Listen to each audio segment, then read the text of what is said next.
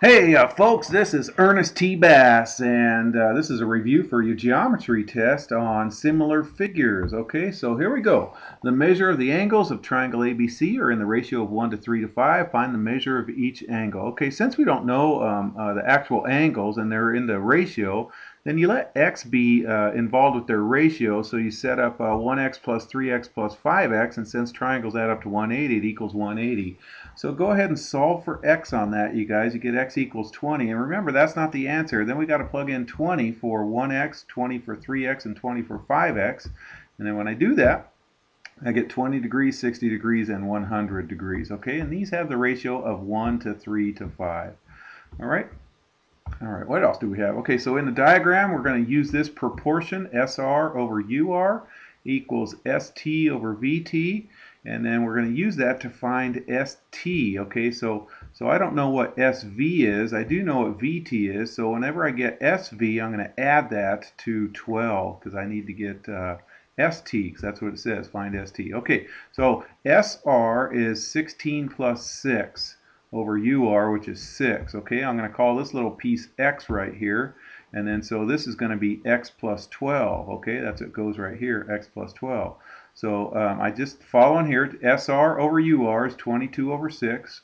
ST is, is X plus 12, and then VT is this 12 right over here. Go ahead and cross multiply, you guys, and when you cross multiply and distribute, uh, and I had some students ask me, can we reduce this 22 over 6? You bet. I, I should have done that. But that's okay. You could have got 11 thirds and cross multiplied with that. You get the same x value, but I'm assuming uh, most kids have a calculator by now. But next chapter, chapter 7, is the is the sine, cosine, tangent chapter. Uh, you'll absolutely have to have a calculator for that. Okay, uh, anyway, so x is 32. Don't forget, x is not the answer. st is the answer, so 32 plus 12 is going to get me 44. Alrighty? All right, so here we have uh, similar quadrilaterals right here, you guys. It says find each, so we probably want to pause it here. So pause it down over here in this left-hand corner. Okay, right down there, right down there. Okay, and then the scale factor, find the scale factor. So I got to find the side that matches up with this uh, CD. So the side that matches up with CD is these last two letters. So it's going to be the last two letters here, HJ. So it's going to be this 15 right there. All right, so um, that's going to get me my scale factor, 25 over 15. And then 5 goes into 25 five times and 15, or 5 goes into 15 three times. Okay? All right, so then we're going to use that to find the value of x. Okay, x is the value AD. So AD is first and last letter, so it's going to be equal to the first and last letter FJ. So that's going to be the 18. So I'm going to set the scale factor 5 over 3 equal to x over 18. Okay? All right, notice I got them all nice and color-coded now. These guys, the red guys here are corresponding, and then cross-multiply here, and we're going to get x equals uh, 30. All right, and then this one says find the perimeter of this little guy. Well, you just add up all those numbers right there, and so you get 57.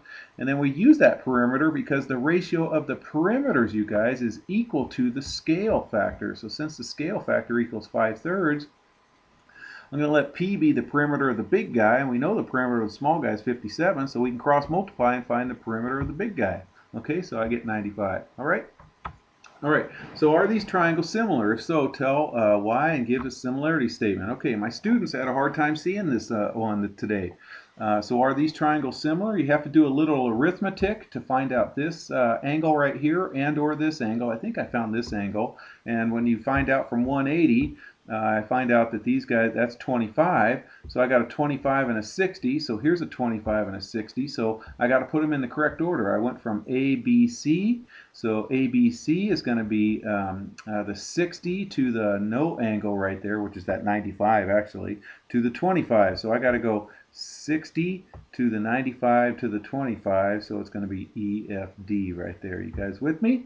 Okay, and then by angle, angle, similarity. All right, let's try another one here. Okay, this one sure smells like side angle side, you guys, because those vertical angles right there. So I got to see, are these sides in proportion? And again, I had a bunch of students say no on this. So we need to check, is the small side on this triangle over the small side on this triangle equal to the big side on this triangle over the big side on that triangle. So we need to check that. If that is true, then yes, by side angle side, they're similar. If not, then no. All right, so I get 8 fifths on both those, and so yes, they are by side angle side. So let's get them in the correct order. The first one I wrote PQR. So I went from P to Q to uh, R to the one side. So I went from the no arc to the one arc. Notice I put one arc. They're not congruent, you guys. It doesn't mean they're congruent. I'm just showing you that this, this side corresponds to this side. The small corresponds to the small. And this side here corresponds to this side. So I'm just letting you so, see how they correspond so we can put them in correct order.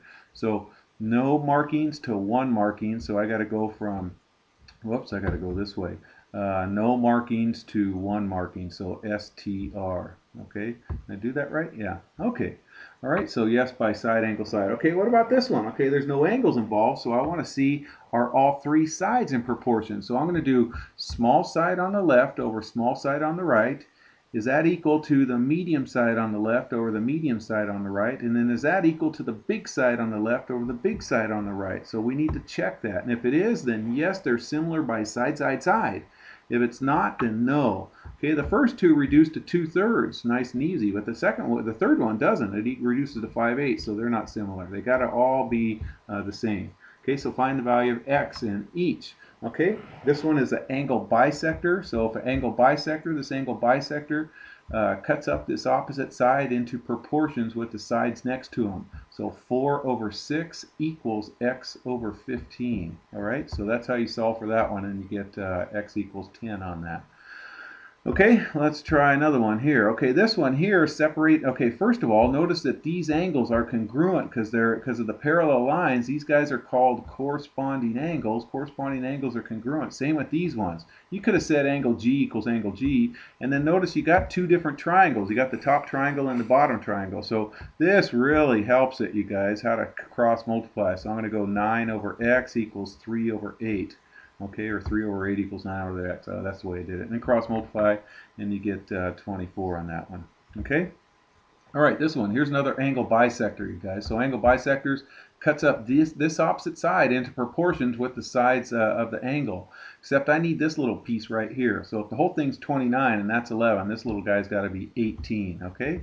So put the 18 right there, and then I'm going to do 11 over 16.5, 18 over x, okay? And then you're going to go ahead and, and cross multiply, and you get 27 on that, okay?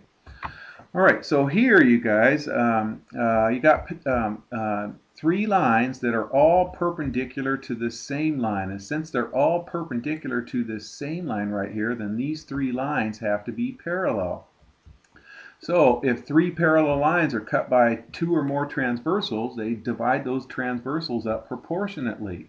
So I like to say this, lefty over righty equals lefty over righty. That will always work. You can go lefty over whole equals lefty over whole. I would do whole if, if the whole thing was x, or if the whole thing was, say, 16. But since you got them in pieces, I do piece over piece, piece over piece. Okay, so cross multiply, and you get uh, you do get a, a, fraction on this one. Okay, all right. So um, uh, if you are in my class, which um, a lot of you guys are, I would assign that for your homework. Take care.